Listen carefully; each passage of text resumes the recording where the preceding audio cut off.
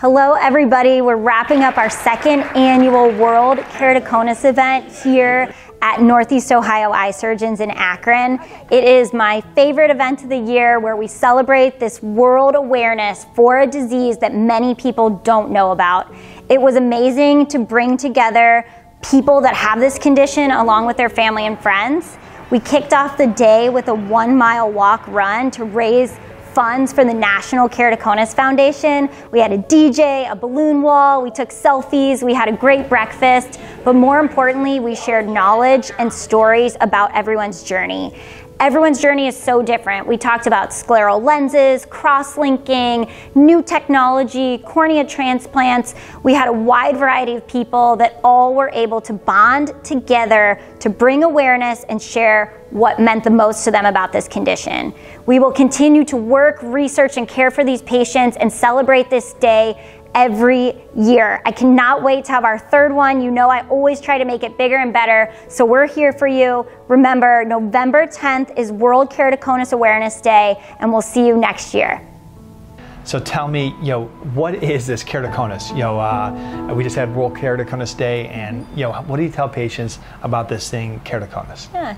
So keratoconus is an eye disease. Um, it's not something that's contagious. It can be potentially genetic. We can also get it from rubbing our eyes, and it's where the shape of the cornea, the clear window on the front of the eye, literally becomes cone shaped. That's what keratoconus means, cone shaped cornea and that causes an irregular view inside the eye for the patient. They can't see very well. They'll see blurry vision, sometimes ghosting or double type images, and uh, halos and glare. So it's yeah. a pretty devastating condition. Here at Clear Choice Laser Eye Center, we see a lot of patients that come in, they've been wearing contacts or glasses for some time, and they're like, okay, you know what?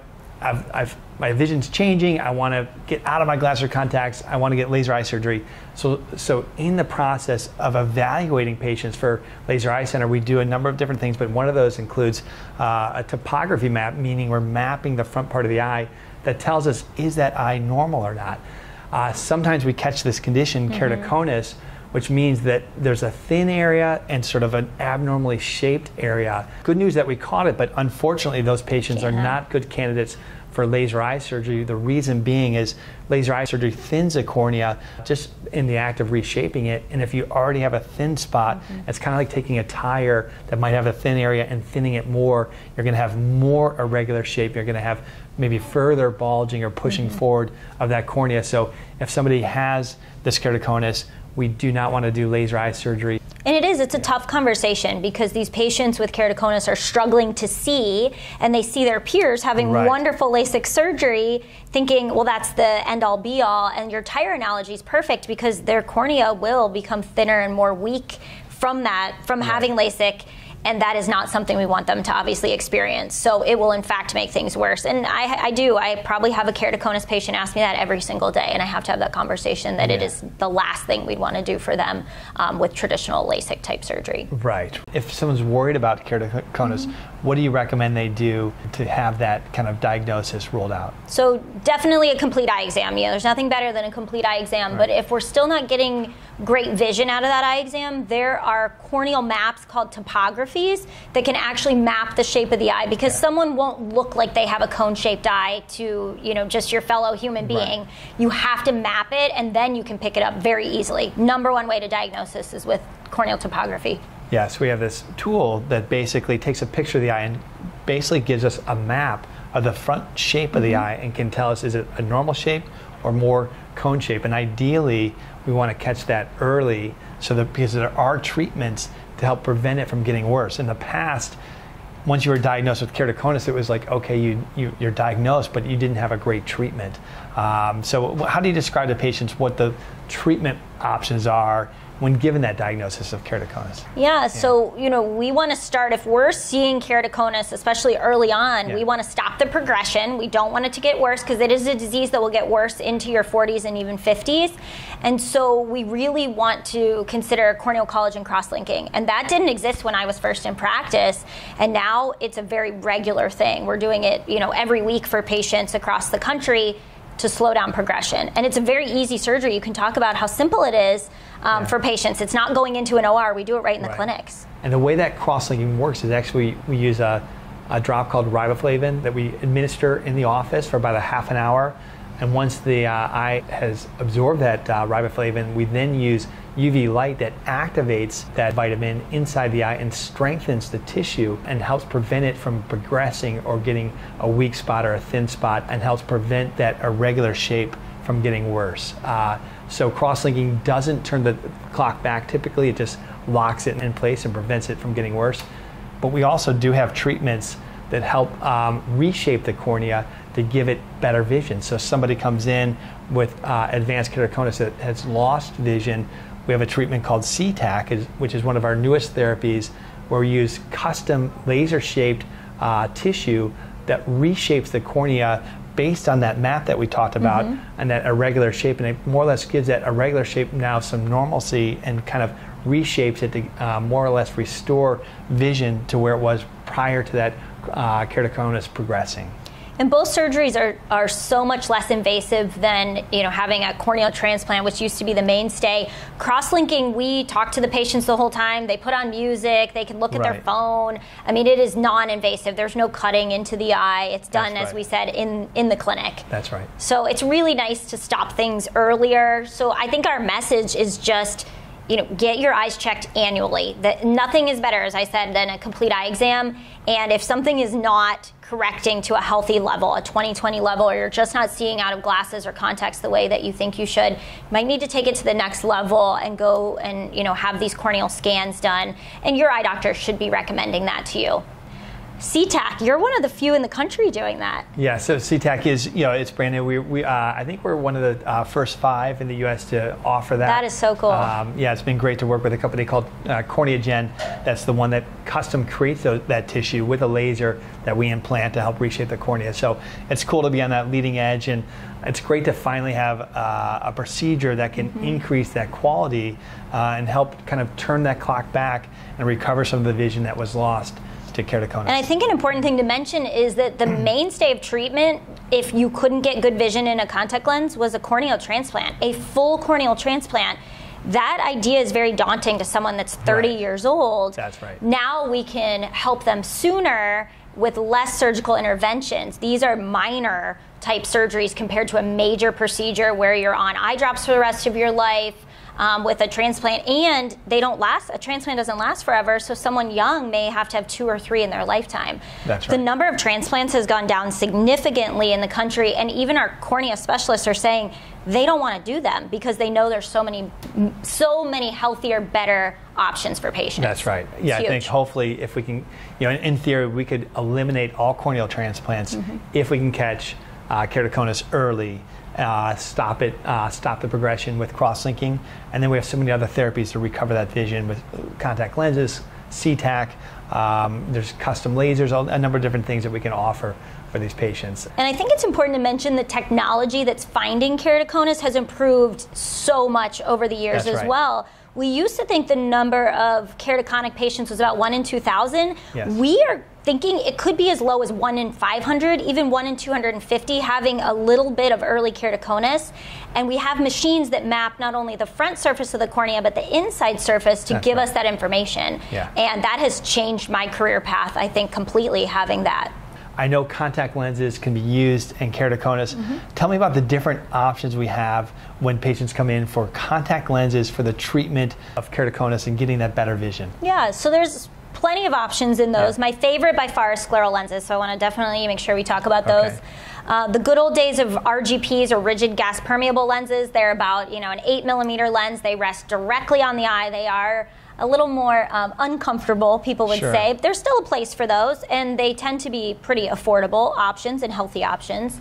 But scleral lenses are phenomenal. In my practice, uh, I work with a bunch of cornea specialists and very you know unique shaped eyes, and I have found that scleral lenses, which old technology, scleral Yeah. lenses Leonardo da Vinci developed. So we're talking old technology Sure. back in the day they were made of materials like glass that were pretty dangerous in the eye and so in the past 20 years they've made a resurgence and i've probably made that my full almost full clinical focus now is fitting patients in scleral lenses and so now with sclerals i'm kind of working both you know, what surgical interventions can we do and Right. how can we still help them for their best acuity with these contact lenses. So that's kind of what I've based my last 15 years of, of career on. Yeah. They don't touch the cornea at all, and we're kind of worried in a disease process of the cornea that maybe something shouldn't be sitting on directly on the cornea. And so these are fully supported by a liquid layer of tears underneath the scleral lens. So what's better than having, you know, a bath of tears on your eyes all day long?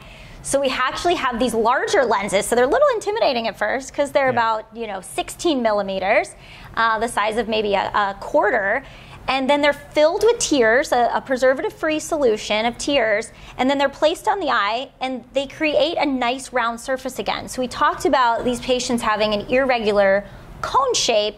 Scleral lenses then give Right. them this nice, round, perfect shape to give them phenomenal quality of vision. We can often get patients back to a 20/20 acuity level with these lenses, and they're comfortable. You could wear them all day long. They're very breathable. They do require a little maintenance. You know, there's special cleaning and solutions you're hearing me talk about. But once people get used to them, I have an 11 year old wearing scleral lenses in my practice, and I have a 97 year old Wow. wearing them.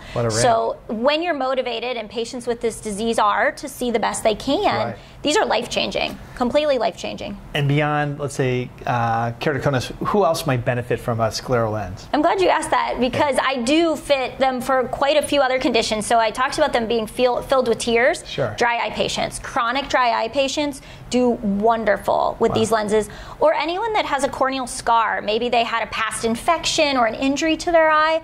Um, sometimes that's only on one eye, and I'll fit a Yeah. scleral lens. So anyone within your regular shape or an extremely dry surface that maybe has failed on medications for dry eye, Yeah. these really create a protective shell for the eye and, and a lot better quality of vision. If a patient says, hey, you know what? I hear I can wear a contact that can help treat my keratoconus or help give me better vision Mm-hmm. with keratoconus. Can they just get that on 1 800 contacts? No, please no. so, so tell me, how does a patient find the right doctor that's going to be able to fit that keratoconus? Does everybody have the ability to treat that uh, specialty contact lens, or where, where do they find you? So we are, like yeah, we're all trained in school to fit them, but then it depends on who wants to keep going with that, right? Because it does become more of a specialized skill set, something that you really devote your career to. You don't just dabble in fitting patients in keratoconus lenses.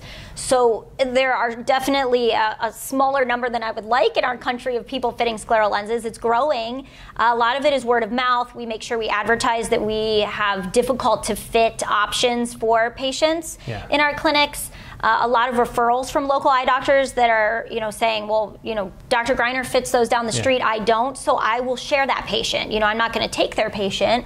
I'll fit the lenses, and then they'll go back to their regular eye doctor they've known for 20 years for their annual care. So there's a nice like co-management type model Yeah. in that.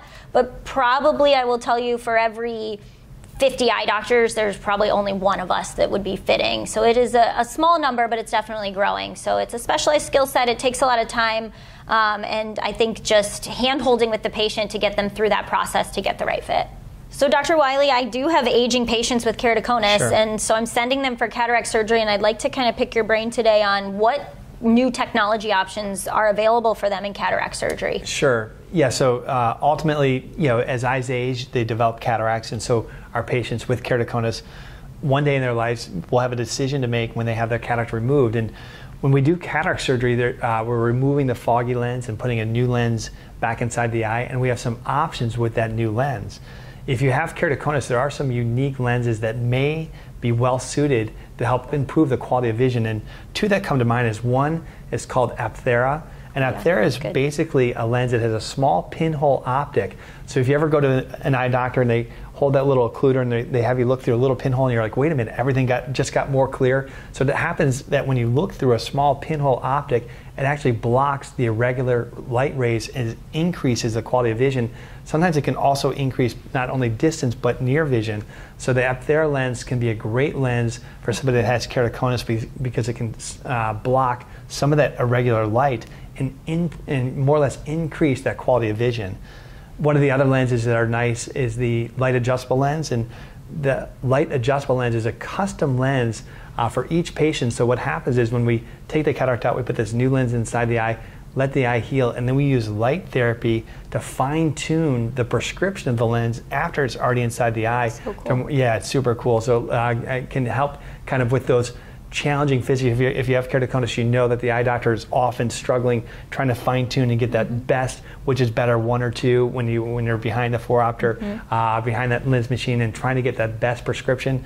Well, the light adjustable lens gives the eye doctor the best chance to find a custom prescription that's tuned to your eyes after cataract surgery. So those are sort of the two lenses that are unique and often helpful for patients that have keratoconus, uh, the Apthera lens with a pinhole or the light adjustable lens to kind of custom fit that prescription to fit their eye. And they did not have these options even just a few years ago. Right. I mean, it's amazing. And then, you know, if they ever do need to go back into scleral lens where they can, the implants you're using are inside their eye, but this could give them more hope of maybe having more freedom from wearing glasses or contact lenses for their disease. That's right. I love it. I, I, I know we should mention this, you know, a public service announcement.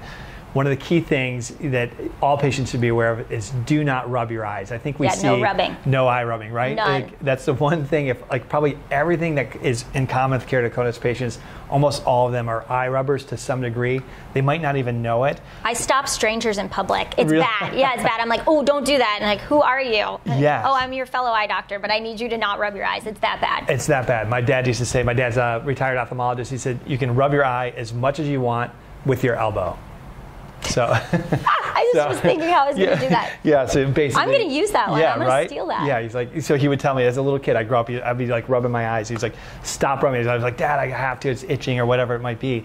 He's like, okay, you can rub it as much as you want with your elbow. So, meaning don't rub your eyes. Yeah. You know, uh, for so many reasons. But number one, that rubbing weakens the tissue Mm-hmm. and pushes that normal shaped cornea into more of a cone shaped cornea. Mm-hmm. Uh, and so, uh, stopping eye rubbing is critical. And you don't see your eye look like a cone until we map it. So it's these gradual changes in that collagen that That's right. create this funny shape. And then these patients can't see if their cornea becomes a cone shape, they can't see out of glasses. Yeah. So I always feel bad because people will tell them, oh, just put your glasses on. Well, usually with that irregular shape, glasses don't work. Yeah. And that's where they have to think of other options that we can offer them. Totally agree.